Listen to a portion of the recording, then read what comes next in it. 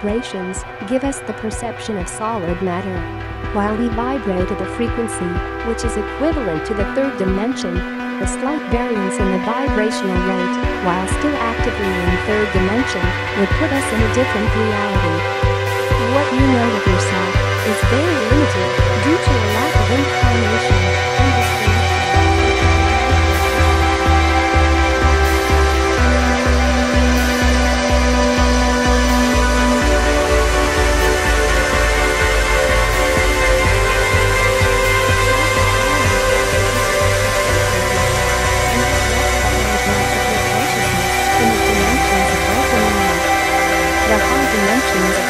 consciousness contain different levels of awareness and spiritual powers.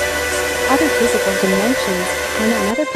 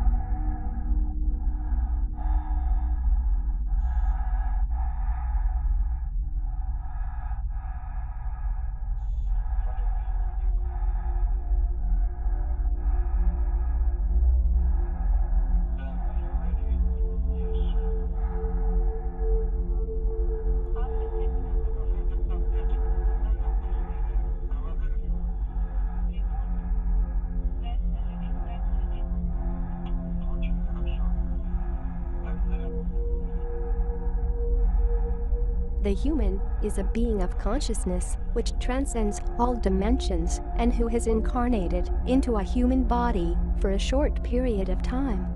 Its next incarnation may be here again, or in a much higher dimension, or a lower one, or maybe it will not incarnate again. The point here is that higher dimension does not mean better, it is just a different place to incarnate and leads to different experiences. We exist on a number of different levels at once. Energy is made up of molecules, rotating or vibrating at various rates of speed. In this light, the universe is basically a hierarchy of energies at different orders of density. Our senses have some access to the densest form of energy, which is matter. The hierarchy of energies is interrelated, and each level is sustained by the level below it. This system of energies is set neatly into a vast matrix of deeply interfaced natural laws. It is both physical and metaphysical, this matrix of energies came as a result of the initial act of creation and the subsequent effects that created the universe. In ancient Egypt, this matrix of energies was identified with the Neteru, gods and goddesses. The presence of energy in everything was long recognized by the ancient Egyptians that there are cosmic energies in every stone, mineral, wood, etc. Our universe exists as a matrix of energies, all vibrating at different frequencies. Slow vibrations give us the perception of solid matter, while those that vibrate at higher rates give us the imperceptible states of being, those of spirit. It also gives credence to the theory of parallel states of being.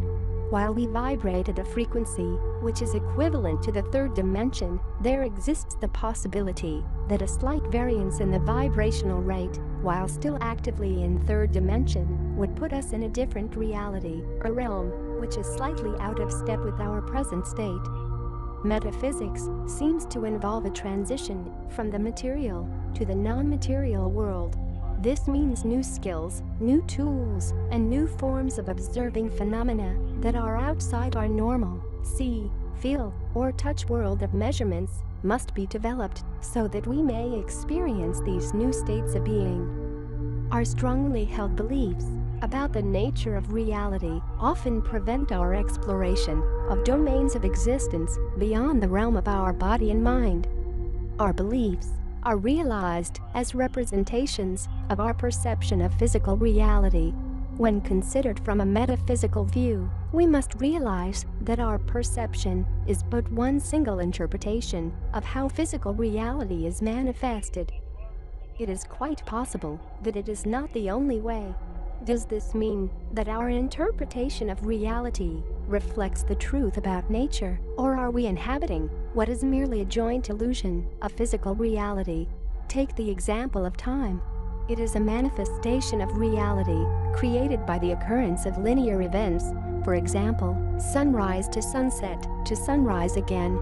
Because these events are connected and follow each other, time is said to exist in a physical reality. However, from a metaphysical standpoint, and depending on your own perception or point of focus, events can occur in a multi-dimensional state. Sunrise to sunset then becomes a single event, this leads to the conclusion that time does not exist. To illustrate this, a person will consider time in terms of minutes, hours, days, years, and even generations. However, a tree, for example, would think of time in terms of decades, centuries, even millennia. The human concept of time is meaningless within the context of a tree's consciousness this means that the metaphysical domains follow a different channel of reality to our own. We can access these metaphysical domains by activating a channel of communication. This channel is created when a person experiences a breakthrough or sudden realization occurring around their strongly held belief about the nature of reality. Many of history's gurus are said to have undertaken ascetic practices to cause such an epiphany to occur. There are many examples that such experiences have been reported to create a channel to the metaphysical realms. These new channels of communication, or states of being, allow for phenomena such as insight, intuition, creativity, imagination, spirit vision, holistic seeing, and quantum thinking to exist. Human mastery of metaphysical realms depends on the path one takes to reach enlightenment. Einstein is said to have written a ray of light around the sun in his imagination.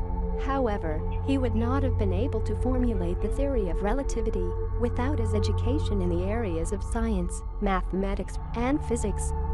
Whether Da Vinci experienced similar things is unknown, but we are aware of his training and mastery of art, architecture, science, and mathematics. While most of us cannot begin to match ourselves against the intellect, knowledge, and experience of such as Einstein and Da Vinci, we can begin to experience other realms by changing our perception of this one. The more we understand this, the more the metaphysical realms open to us.